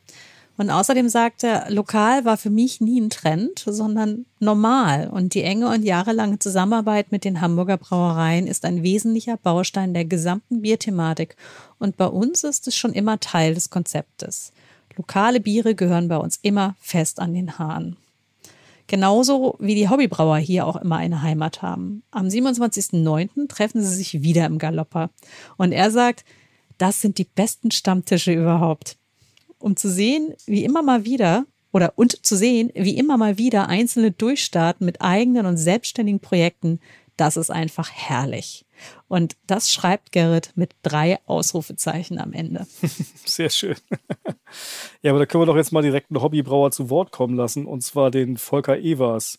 Und den haben wir ja kennengelernt. Äh, wir haben eben schon diese äh, Geschichte erwähnt, dass wir Sophia in einem frühen Pod äh, Podcast dabei hatten. Da haben wir ja quasi einen Live-Podcast bei uns im Studio gemacht mit Fiete und Sophia. Und äh, da konnte man halt die Teilnahme gewinnen. Und da war ja äh, unter anderem Volker Evers dabei und natürlich auch Bernd Strehl der ja mittlerweile auch einen Schritt weiter gegangen ist, noch als Hobbybrauer. Oh, der ne? saß ganz entspannt in der ersten Reihe, ganz aufmerksam. Ja, und äh, Volker ist passionierter Hobbybrauer und äh, Teil der Szene von Neumünster Braut und den Hobbybrauern Hamburg, weil er ist nämlich in Norderstedt ansässig und somit quasi dazwischen. Ich bin in beiden Hobby-Gangs. Ja gut, dann kann man von überall das, das Wissen abzapfen und äh, trifft nette Leute. Aber ich finde es toll, wie die auch wiederum die Profis in dem Business unterstützen. Das ist, äh, ich glaube, da profitiert man viel voneinander, oder? Ja, auf alle Fälle. Also zum Beispiel mit Neumünster Braut haben wir jetzt als nächstes Event, äh, dass wir alle das Trick 17 nachbrauen von der Witthofer Brauerei. Also mit dem Originalrezept, was wir netterweise kriegen durften, auf unseren Anlagen. Und dann wird das im November von den Brauern und von Henning aus der Wittorfer Brauerei verköstigt. Und dann mal gucken, wer da die Nase vorn hat. Ja, also angefangen hat das alles Ende 2017 äh, zu Hause bei mir im Garten. Wie üblich mit einem Einkocher, einem Paddel, ganz ja, Handwerk halt mäßig. Genau, so hat das Ganze angefangen. Und was kam dann? Jetzt inzwischen der G30, also Grainfaser 30, der sehr viel natürlich selber machen kann und äh, ich über Lukas Beckmann, Beckmanns Braumischung, meine Sachen mir organisieren kann. Also entweder eigene Rezepte oder auch die Rezepte, die Lukas äh, dort zur Verfügung stellt. Und äh, die braue ich auf meiner Anlage nach. Und deswegen sage ich für mich trotzdem, es ist mein Bier äh, und nicht äh, von irgendeinem anderen. Und ja, ich brauche aber immer noch obergärig, auch äh, wenn ich schon so lange dabei bin, weil ich einfach noch nicht so diesen Raum zum Kühlen habe für das untergärige Bier. Ja, da fällt der Name Lukas Beckmann, der in diesem Jahr zehn Jahre Braumischung.de gefeiert hat. Und äh, ja, das ist noch so einer, der die Bierszene in den letzten zehn Jahren begleitet hat. Ne?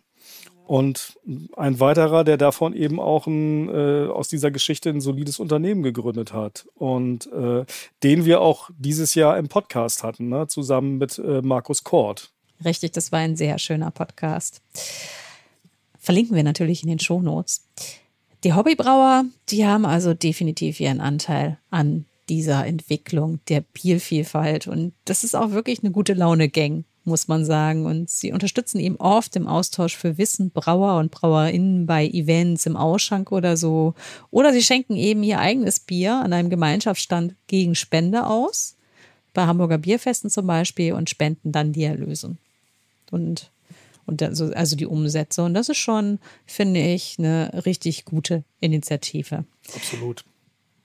Es wird schwer sein, alle zu nennen, die diese Bierbewegung am Anfang begleitet haben. Also das alles hat hier, keinen Anspruch auf Vollständigkeit. Das soll nur an dieser Stelle mal gesagt sein, weil ich wette, wenn wir äh, mit dieser Folge durch sind, dann wird die eine oder andere sagen, aber ihr habt vergessen, den oder die zu ja, nennen. Ja, wir, wir, haben, wir entschuldigen uns jetzt schon. Wir entschuldigen uns jetzt schon und ich denke, diese Folge wird eh eine der längeren sein. Also insofern seht uns das nach.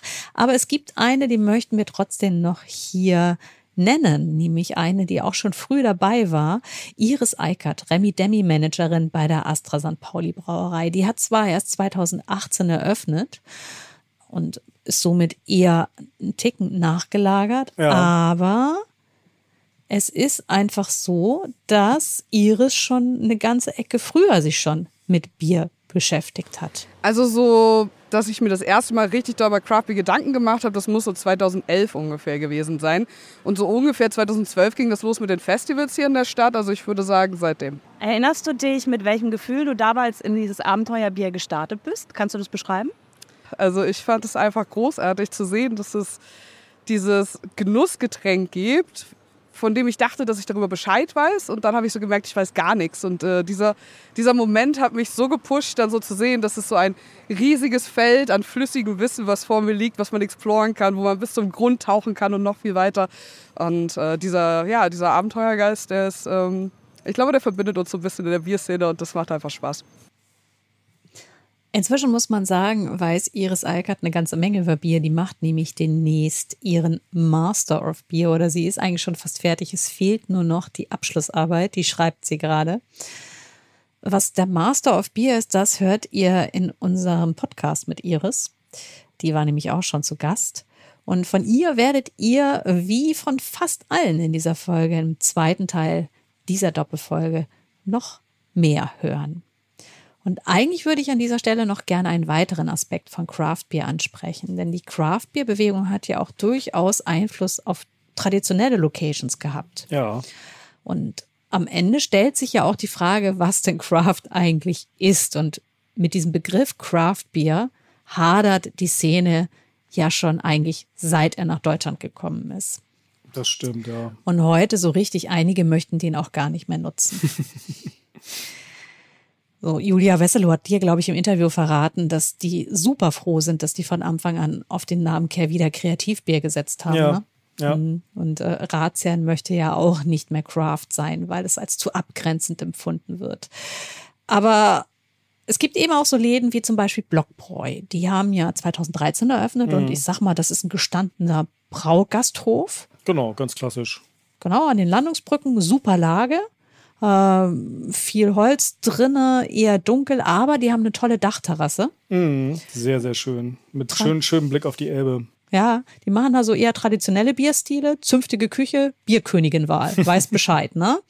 Aber sie haben, ich habe schon erwähnt, die Dachterrasse mit Hopfen da oben auch, ne? Mhm. Und da oben hast du ja den Chefbrauer da getroffen, oder? Genau, Thomas Hund. Und den kennen wir ja auch schon echt lange. Den haben wir direkt so quasi in unserer früh Hopcast-Phase kennengelernt und immer wieder getroffen bei vielen Veranstaltungen und auch das eine oder andere Bier zusammen getrunken, uns immer sehr nett unterhalten. Und der ist ja so klassischer Brauer. Und für klassische Brauer war das ja oft so, dass sie äh, sich mit diesen Craft-Bier-Stilen halt überhaupt nicht auskannten. Für die war das ja auch was total Neues. Wie war das denn bei ihm? Kannte er Craft-Bier schon? Ja, muss ich sagen, über Ratsherrn, also Thomas Kunst, weil wir haben in der gleichen Stadt, fast in der gleichen Brauerei gelernt, Hakebeck und Becks, also er Ja. war bei Becks und äh, da hat man schon einiges mitbekommen und äh, ja, wir haben klassisch angefangen mit dem Pilsener und einem Weizen, was wir allerdings damals auch schon stärker gehopft haben. Ah. Wie seid ihr auf die Idee gekommen? War das schon inspiriert so von der, von der Hopfenweiße? Gab es die damals eigentlich überhaupt schon? Schneider? Äh, ich hatte, glaube ich, entweder war es eine Schneider, ich hatte mal eine etwas stärker gehopfte Weiße getrunken Mhm. und das äh, hat mir besser gefallen als ganz ohne Hopfen. Mhm. Und dann hast du ja wahrscheinlich gemerkt, okay, Ratsherren, die machen jetzt auf einmal noch ganz viele andere Sorten. Inspiriert das, weil ihr seid ja sonst eher sehr klassisch aufgestellt hier, ne? Ja, wir haben dann ja auch mal versucht, ne, wir haben Summer Ale gemacht, Mhm. auch, oder so ein Frühlings-Ale, sag ich mal. Ich sag mal Kölsch mit ein bisschen mehr Hopfenaroma. Ja. Und Pale Ale, aber wir hatten natürlich dann hier, was hatten wir, 14, 15 Brauereien, die alle Pale Ale gebraut haben. Mhm. Und dann sind wir wieder irgendwann geswitcht auf die, Anführungsstrichen, normalen Biere. Ja, und trotzdem, Blockbräu macht schon immer mit bei der Beer Week.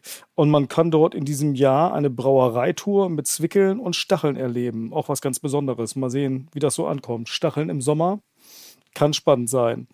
Und Blockbräu ist natürlich außerdem beim Senatsbock mit dabei. Und äh, sie machen meistens ziemlich klassischen Bock und äh, der ist eigentlich jedes Jahr ziemlich gut.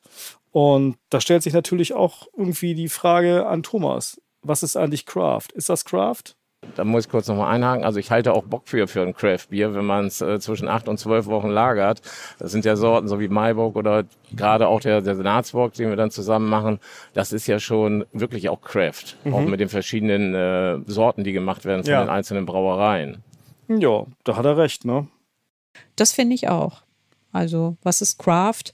Äh, auch klassische Bierstile, die ja dann durchaus auch mit einem Twist wie bei ihm gebraut werden. Und beim Thema Weizen hat er sich ja reingekniet, muss man Mhm. sagen. Das ist auch durchaus Craft. Aber die, über die Definition von Craft könnte man noch mal eine ganz eigene Folge machen. Das würde jetzt hier wirklich den Rahmen sprengen. Aber an diesem Punkt haben wir jetzt vor allem die aufgeführt, die Personen, die ihr Geld mit Craft Beer verdienen Mhm. oder es eben selber brauen. Aber es gibt ja auch die Community. Und die ist sehr wichtig. Die ist super wichtig, weil die trägt das Ganze durch gute und schlechte Zeiten. und die ist wirklich ziemlich treu in dieser Stadt. Muss man einfach so sagen. Und zu den wohl treuesten Personen in dieser Community gehören Hanna und Miko. Ja, und die vor allen Dingen auch ihre Liebe so schön immer gleichmäßig verteilen an alle. Das ist denen richtig wichtig. Ja. Und deshalb wäre der Podcast eigentlich nichts ohne ihre Stimme. Also, Hanna, was sind deine Erinnerungen an den Anfang der Craft Beer Bewegung in Hamburg? Die Fiete postet ja gerade immer so Bilder von vor zehn Jahren. Das finde ich ganz süß, weil an ganz viele Sachen erinnere ich mich wirklich gut. Die hat neulich eins von, äh, von, von einem Event bei Galoppa gepostet. Und da war ich auf jeden Fall, das weiß ich. Da haben die so ein Showboo gemacht. Auf diesem Event war ich und ich habe das Bier hinterher getrunken. Das fand ich ganz geil. Und ähm, die Bierinsel. Erinnert ihr euch an die Bierinsel? Ihr wart nicht auf den Bierinseln? Zwei Menschen schütteln die Köpfe. Oh nein! Die Bierinseln waren auch so gut, weil da gab es das erste Mal diese Skipa-Sachen von Olli Wesselow ähm, im, Altes, äh, im, im Alles Elbe. Und da konnte man abstimmen, welches von den drei Skipas man am besten mag. Und wir waren in der Schankwirtschaft. Da gab es mega gute bayerische Biere, die mit dem, ah, ich glaube, die jetzt irgendwie aufgekauft, die mit dem, die mit Bix auch drauf. Äh, cool Republic. Ja, genau, Cool Republic. Da habe ich sehr gute Cool Republic Biere getrunken. Und ich glaube, Sascha hat da auch schon die ersten Biere gehabt auf der Bierinsel. Aber bis dahin habe ich es nicht geschafft. Ich fahre wieder hinterher irgendwo anders, wo vorher schon war, weil es einfach so geil war an dem Abend. Das waren so die alten Sachen, an die ich mich jetzt gerade erinnere. Stefan, du warst nicht auf der Bierinsel? Ich war nicht auf der Bierinsel, nee. Ich frage mich sowieso, äh, an was Hannah sich nicht erinnert. Das by the way. Also die Frau hat das äh, Gedächtnis äh, eines, äh, eines Elefanten. Ja, von zwei Elefanten. Das ist unglaublich. Das, Das ist, ist- äh, Wahnsinn, was sie sich alles merken kann. Das ist wirklich irre. Das Etikett sah früher ein bisschen anders aus. Ach was, denkt man sich. Hammer. Hammer. Liebe Grüße an Hanna und Miko. Okay, noch zwei Bierinfizierte, die sich dann 2020 auch entschlossen haben, sich offiziell so zu nennen, nämlich Bierfluencer. Auf Instagram findet man sie, sind St Steffi und Matthias. Ich, ich fand cool, als man zum ersten Mal so, so Fichtennadeln oder sowas im Bier gehabt hat oder Rauchbier. Da habe ich gedacht, boah, wie krass ist das denn? Das ist auch Bier und äh, das gehört auch zu dieser Gattung. Das fand ich völlig faszinierend. Das ist dann wahrscheinlich Brucifer gewesen oder so damals. Ja, ich, ich denke schon. Genau, Anna, Anna sagt direkt ja. Du. Das ist aber länger. Ja, ja. Ja, das haben auch man stolpert man als erstes Mal drüber und das äh, kann ich gut verstehen, dass äh, du da dachtest, so Mensch, das ist ja verrückt, so kann Bier schmecken. Das war ja. Bierinseln hier. Hier. Hier bei den Bierinseln gab es dieses Bier. Das kann sein. Ich weiß gar nicht mehr, wo ich das da auch eine Erinnerung habe. Aber, aber, aber Aber sagt mal, ihr beiden, wie seid ihr dann auf die Idee gekommen zu sagen, okay, wir bloggen jetzt wie irre über Bier und machen Bier-Influencer? Ich glaube, dass der ausschlaggebende Punkt war ähm, ein Moment, als wir Dosen, oder nicht Dosen, sondern noch ähm, Flaschen von Sandisk gesehen haben. Und gesagt haben, wow, wie krass kann denn Bier aussehen allein vom Design? Und das ist einfach eine, also für mich ist es eine Designgeschichte. Ich mag ähm, gut designtes Bier äh, und dann ist der Weg von Sudden Death zu Omnipollo nicht weit äh, und dann kommst du hier ganz schnell zu Beyond Beer ähm, und ähm, hast, hast deine Liebe ganz schnell gefunden. Also das ganz klare Nummer. Also du bist, du bist, du bist übers Design rangekommen. Immer. Und auch heute noch. Ich bin ein, äh, ein Coverkäufer von Viren. Ja. Ein, ein Dosenopfer. Ein, ja, leider. Schade, das ist eine teure Liebe. Und ich bezahle es gerne. Ja, aber schön zu hören, dass ihr euch super ergänzt, wenn die eine vom Inhalt kommt und der andere vom, äh, von der Verpackung. Das ist ja eine ganz hervorragende Kombi bei euch. Auf jeden Fall, das stimmt. Der Inhalt ist ja mittlerweile auch ganz nett. Das sagt Matthias auch immer zu mir. Ja, diese Aufnahme haben wir spontan auf dem Freitagabend äh, vor Beyond Bier gemacht, die Herrschaften damit quasi so ein bisschen überfallen. Aber einen haben wir noch, Jens Spiegel, Hopcast-Hörer und absolut bierverliebt. Den haben wir auch schon ein paar Mal mit ähm, äh, Wortbeiträgen hier sozusagen im Hopcast gehabt. Und äh, Jens, woher kommt diese Liebe? Eine Dekade Craft Beer in Hamburg. An was denke ich da? Hm, Ich wohne ja erst eine halbe hier, aber diese fünf Jahre waren ziemlich abwechslungsreich. Ähm, ich denke viel an Gemeinschaft, an Offenheit, an Toleranz, an, an Miteinander und an eine klare Kante gegen rechts. Und ähm, ich finde es irgendwie spannend, weil trotz der Vielfalt an Brauereien und Brewpubs, die es hier gibt, fühlt man sich beim Craft Beer so ein bisschen wie in der Familie. Man trifft sich oft, ähm, ich gehe ja zum Stammtisch und besucht wechselnde Lokalitäten und ähm, das ist einfach immer wieder ähm, ja wie nach Hause kommen so ein bisschen und ähm, ich mag es total, dass man als Mensch vor dem Bier ganz nah an den Menschen hinter dem Bier äh, dran ist und man kommt ins Gespräch mit mit Brauern, mit Brauerinnen und ähm, man ist einfach immer irgendwie ja mitten im Geschehen. Das ist das ist echt sensationell. Danke, Jens Spiegel, dass du uns diese Aufnahme geschickt hast. So, jetzt haben wir die Community, die interne Community. Das waren ja alles Hamburger und Hamburgerinnen. Jetzt gibt's ja aber auch noch externe Unterstützung. Ne? Und es gibt Mhm. jemanden, der die Bierbewegung auch schon sehr, sehr lange begleitet, unterstützt und einlädt zu einem eigenen Bierfestival, nämlich Markus Quatt. Den hatten wir auch schon zu Gast in diesem Podcast. Markus Quatt ist quasi ein Freund des Hauses Bierszene Hamburg. Er ist Biersommelier und er ist Inhaber der alten Posthalterei in Lingen und Gründer der legendären Lingener Bierkultur und äh, hat sehr erfolgreich das Social-Media-Format Digitale Bierprobe äh, zu einem der erfolgreichsten seiner Art in Deutschland gemacht. In der Corona-Zeit. In der Corona-Zeit. Ja, also ich, er hat es, glaube ich, danach nochmal aufleben lassen, weil das Ding wirklich Kult ist, aber sie haben es ja in der Corona-Zeit auch erst gemacht. Weil Genau, es war ja. natürlich, äh, wie für viele waren Online-Tastings ein Ausweg äh, aus dieser Tatenlosigkeit. Er hat das zusammen gemacht mit Raphael Curella. Und die beiden waren wirklich ein Dreamteam, Ja, muss man stimmt, sagen. ja. Ganz toll. Und sein Bierfest Lingner Bierzirkel feiert übrigens in diesem Jahr auch zehnjähriges und zwar am Donnerstag, dem 5.9.2024 auf dem Universitätsplatz in Lingen. Die ersten 50 Liter Bier gehen auf jeden Fall auf uns. Oh, super. Lese ich hier gerade. Liebe 3000, Liebe 3000 am DJ-Pult wird bestimmt super. Also, weil äh, der gute Markus Quatt irgendwie im Herzen auch ein Hamburger ist, finde ich. und die Hamburger Bierszene so eng begleitet hat und ja auch den Senatsbock, die Online-Ausgabe moderiert Ja, das hat. stimmt, ja. Das nicht zu vergessen, haben wir ihn gefragt, sag mal Markus, kannst du uns nicht auch eine Aufnahme schicken, was du von dieser Bierszene hältst und wie du das erlebst? Hallo, ihr Lieben. Schöne Grüße aus Lingen. Hier spricht Markus Quatt von der alten Posthalterei und der Lingener Bierkultur. Ihr habt darum gebeten, dass ich mal was zu zehn Jahre Craft Beer erzähle in Hamburg. Boah, da hätte ich so viel zu erzählen, aber vielleicht mal ein, zwei Geschichten. Also das erste war, dass wir wirklich gerade, ich glaube, da war das alte Mädchen so ein äh, Jahr alt ähm, ungefähr, saß ich mit meiner Frau da und äh, habe ein Bier bestellt und der Kellner fragte dann, ja, was denn für eins? Und ich sage, ja, keine Ahnung, kenne ich mir die mit aus. Bring mir doch einfach mal eins.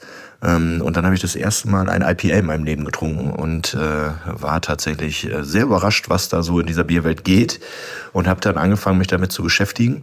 Und zufälligerweise war das auch gerade der Zeitraum so ein halbes Jahr, bevor wir die alte Postleiterei in Lingen eröffnet haben, wo das Thema Bier sowieso eine größere Rolle spielen sollte. Gesagt, getan. Also habe ich angefangen, ein bisschen zu recherchieren und habe dann tatsächlich kurz danach ähm, auf der Internorga den Axel Ohm kennengelernt, den die meisten ja jetzt äh, über Überquell auch kennen dürften. Der hat ja damals auch das alte Mädchen äh, entwickelt äh, und so weiter. Und äh, das war für mich natürlich ganz toll, so jemanden in Hamburg kennenzulernen. Das war so mein erster wirklicher Kontakt. Und danach folgten halt ganz, ganz viele Leute, mit denen wirklich auch mittlerweile ein freundschaftliches Verhältnis ist. Ne? Da würde ich zum Beispiel den Max Mahner auf jeden Fall ganz vorne noch sehen, der ja bei Brausturm Bier und Bier äh, quasi auch ganz viel für das Thema Bier getan hat. Ja, und was soll ich sagen? Ähm, wir haben mit fast allen Brauereien in Hamburg viel, viel zu tun ähm, und haben äh, das große Glück hier in Lingen in der alten Posthalterei dann unter unseren 120 Bieren auch immer einige äh, aus der Hamburger Welt zu haben. Also wir haben mit Sicherheit immer 20 Biere aus Hamburg auch hier bei uns. Ähm, es macht wahnsinnig Spaß. Ja, dann kam ja diese lustige Zeit, wo es digital wurde. Es durfte nicht mehr in Kneipen getrunken werden, äh, 2020, 2021. Und dann fingen wir bei uns in Lingen mit digitalen Konzepten an, einer digitalen Bierprobe. Und das ging dann so weit, dass wir auch eine äh, digitale Bierprobe in Hamburg gemacht haben. Und wir durften dann sogar, ich glaube, drei oder vier Jahre am Stück sogar den äh, Hamburger Senatsbock noch digital mit begleiten und durften dann quasi für die Leute, die es nicht nach Hamburg geschafft haben, dann vor Ort sitzen und die Senatsböcke verkösten, verköstigen bzw. verköstigen lassen und dann mit den ganzen spannenden Menschen, die da rumrum sind, ähm, sprechen. Also eine tolle Zeit. Ja, also am Ende kann ich nur sagen, zehn Jahre Craft Beer in Hamburg. Ich hoffe, es kommen noch äh, tausend und zehn dazu. Ähm, wahnsinnig toll, was in Hamburg alles läuft. Ich will gar nicht einzelne Leute nennen, äh, einzelne Gastronomien und Co. Aber es ist, ist schon Wahnsinn. Und Hamburg ist für mich immer Pflichtprogramm, drei bis viermal im Jahr ähm, bin ich auf jeden Fall vor Ort und schaue mir natürlich auch ganz neugierig an, was gibt's denn Neues an Bieren, aber auch an Gastrokonzepten. Ja, und das ist toll. Hamburg ist großartig. Also wenn nicht Lingen die schönste Stadt der Welt wäre, ich würde in Hamburg wohnen. Aber die zweitschönste. Ganz liebe Grüße. Ja, das war Markus Quatt aus Lingen. Ich sag ja, Hamburger im Herzen. Toller Typ. Mag den sehr, sehr gerne. Und wir waren ja auch mal auf der, äh, auf dem auf der Lingener Bierkultur. Bierkultur, genau. Ja. Oder war das schon der Lingener Bierzirkel? Das ist ja, Mm, Ja, das haben Corona sie da- zum Bierzirkel genau, geworden. zum Bierzirkel geworden. Nach ich weiß Corona. gar nicht, wie sie das jetzt genau betreiben. Also grundsätzlich ist es ja die Lingener Bierkultur, aber irgendwie da haben sie dann auf jeden Fall so als Corona-Ausweichveranstaltung quasi den Bierzirkel betrieben und irgendwie haben sie das beibehalten, ne? Ja, also Corona, also nach Corona, um die Menge zu entzerren. Ja. Da wechselten die Brauer ihren Platz in der Mitte, wie so ein Karussell, und die Leute bleiben aber am selben Platz sitzen. Dadurch hast du nicht so viel Bewegung in der Menge und nicht so viele fremde Menschen treffen aufeinander. Ja. Das war die Idee dieses Bierzirkels. Ja. Also, ich sag's nochmal, 5.9., zehn Jahre Lingener Bierzirkel. Und das ist wirklich eine, wirklich eine richtig, richtig nette Veranstaltung mit netten Leuten. Und mir hat das damals sehr imponiert, weil das, glaube ich, auch wirklich viele sind, die sich sonst nicht äh, vollständig mit Bier auseinandersetzen jeden Tag. Die sind da einfach neugierig. Ja, das war echt eine sehr, sehr schöne Veranstaltung. Ganz, ganz empfehlenswert. Super, ja. Kommen wir zu einer weiteren Kategorie. Rest in Peace. Ja, die Kategorie ist eigentlich äh, gone but not forgotten, könnte man sagen. Ne? Wir haben es ja eben schon gehabt. Äh, Brucifer fiel ja. Das ist ja auch so eine Geschichte gewesen, die es dann, dann leider nicht geschafft hat. Das war das äh, legendäre äh, Tannennadel- oder Fichtennadelbier. Ja. Und es gibt ja leider so ein paar Läden, die man dann, ja nicht nur Läden, ne? Läden, Brauereien, die man dann doch so ein bisschen vermisst, die es nicht geschafft haben. Ich zähle die jetzt einfach mal so runter. Zu den einen oder anderen sagen wir was. Leg los. Leg los. Alles Elbe, haben wir schon erwähnt. Hm. Wirklich. Hat- not forgotten. Ja, hat leider dich Danke, gemacht. danke, Jenny, für die tollen Seiten, die wir da hatten. Dann gab's von Freude.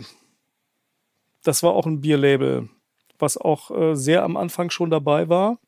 Auch einen Laden in der Innenstadt hatte, was es dann leider auch nicht geschafft hat. Die Schankwirtschaft. Max Mahner haben wir dabei. Äh, auf dem Kiez halt auch ein sehr schöner Laden. Äh, die Bierbühne, Craft Beer Rockstars in Winterhude. Ja. Der alte Galopper des Jahres. Mhm. Leider auch nicht mehr am Start. Das, Aber der neue. Der neue ist am Start, genau. Gerrit ist noch am Start, aber die alte Location ist halt leider weg. Das Bierland haben wir auch schon erwähnt. Ähm, El Paul Ist da als fetter Seestern wieder. ah, hat sich verändert. Ja. Und natürlich Uwe, die mit ihrem, ihrer nur alkoholfreien Bierlinie damals ihrer Zeit dann doch voraus waren. Vielleicht hätten sie einfach weitermachen sollen. Auch hier kein Anspruch auf Vollständigkeit.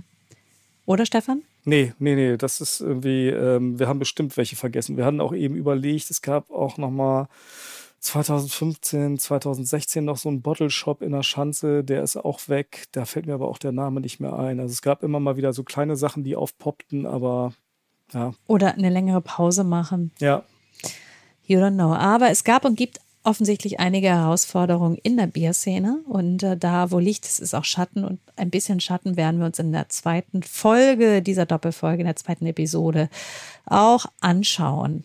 So mancher und so manche ist vielleicht auch ein bisschen naiv hineingestolpert in dieses Abenteuer Craft Beer. Das hat uns Francesco vom Malto in Hamburg-Altona in unserem Podcast mit ihm damals auch erzählt. Vielleicht, wenn wir haben angefangen, wir waren ein bisschen so naiv. Ja.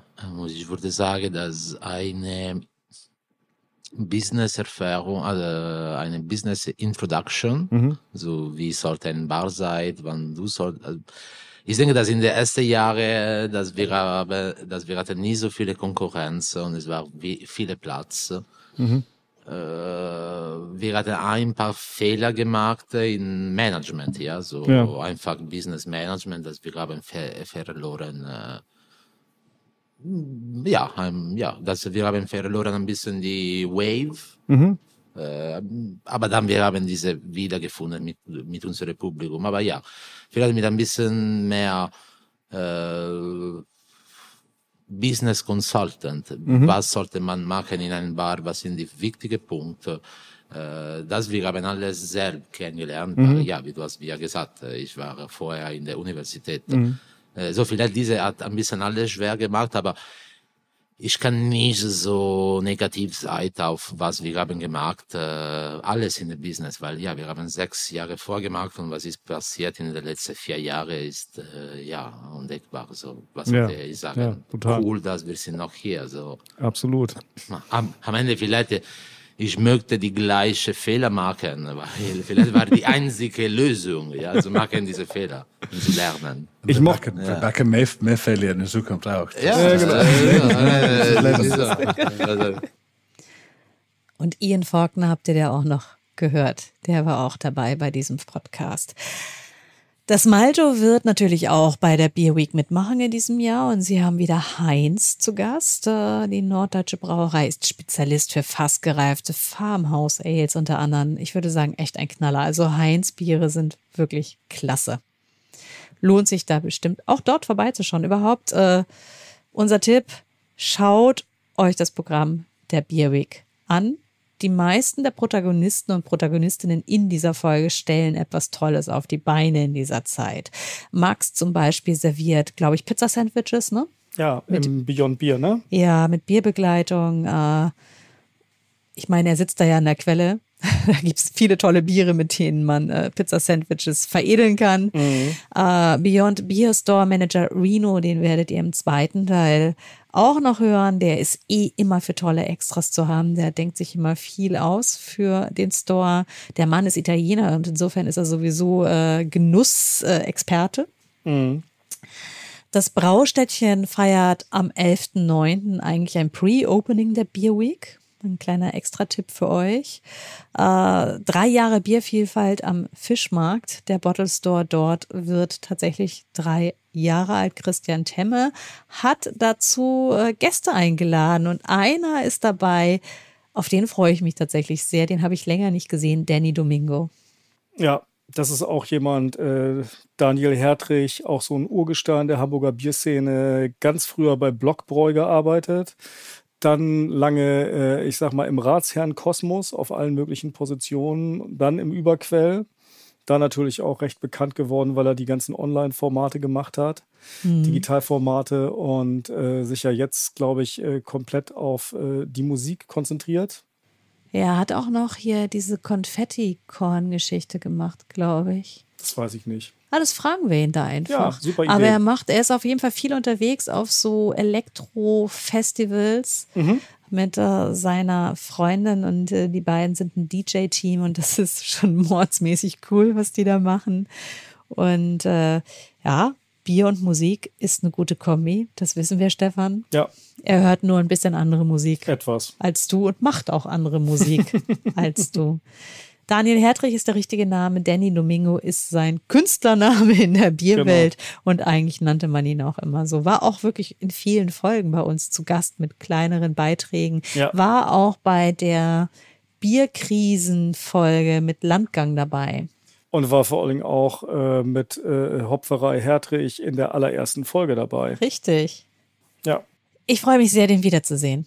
Ja. Also, das wird bestimmt richtig lustig. 11.09. Und äh, werft doch vielleicht auch mal einen Blick in das Menü von Open Mouth, das ja auch zeitgleich stattfindet. Es gibt dort so ein Sterne-Dinner. Das ist eins der Highlights. Das äh, ist natürlich total schick, aber es gibt auch lockere Sachen, sowas wie die Gaumendisco zum Beispiel. Das ist wirklich ein schönes Format. Äh, Da geht es um Food, Wein, da geht es auch um Naturwein. Ah, Da gibt es also auch viel zu entdecken. Total klasse. Musik gibt es da auch immer dabei. Also es ist wirklich eine bunte Veranstaltung auf wirklich schönem Niveau. Also wir verlinken euch auch das in den Shownotes. Und damit nähern wir uns tatsächlich dem Ende dieser Folge. Verrückt, dass wir da nochmal ankommen heute. Wer hätte das gesagt? Genau. Du hast gesagt, wir erschaffen hier ein Monster. Wir erschaffen ein Monster. Wir kreieren ein Monster. Also es ist jetzt gar nicht mal so schlimm. Wir sind jetzt bei äh, knapp anderthalb Stunden. Ist gar nicht so schlimm geworden, wie ich gedacht habe. Ach, siehst du, aber lass uns doch trotzdem die anderthalb Stunden knacken und noch kurz einen Ausblick nächste Folge wagen. Worum geht's? Es geht um Geschichten vom Stolpern, es geht ums Weitermachen, ums Durchhalten, ums Abheben, ums Fliegen und wir berichten vom Neubeginn, vom Scheitern und von zerplatzten Träumen. Wie hat sich Craft Beer entwickelt und was können wir daraus lernen? Wie sieht das morgen aus? Es wird ein Wiedersehen geben mit alten Bekannten und den neuen Köpfen der Bierszene. Manche sind sogar beides. Ganz genau. Also da habe ich in 2016 bei Bullship als Brauer angefangen und da war ich ja, äh, tätig da bis 2020, bis die Brauerei umgezogen ist.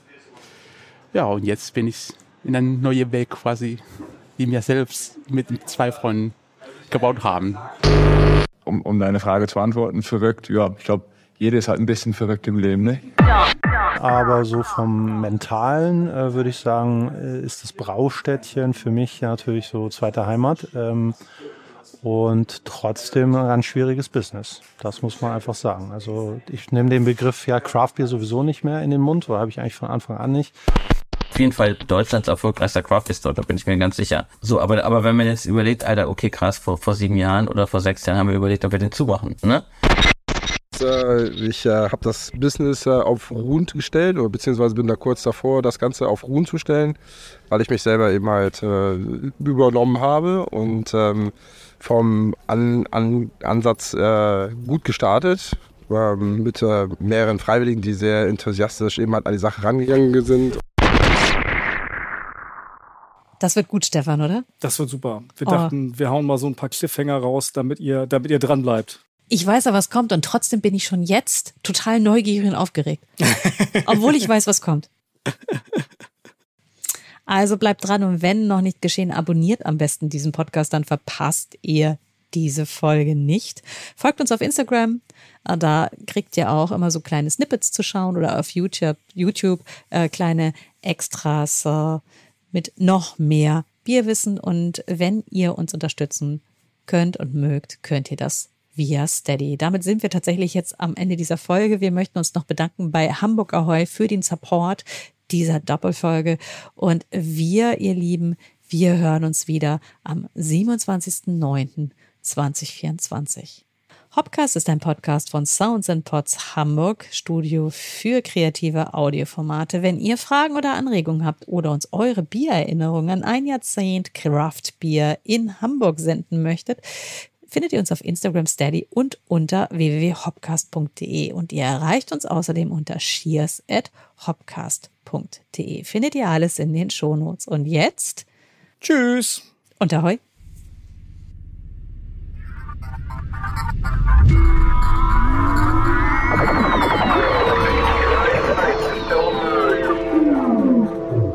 Sounds and Pods Hamburg.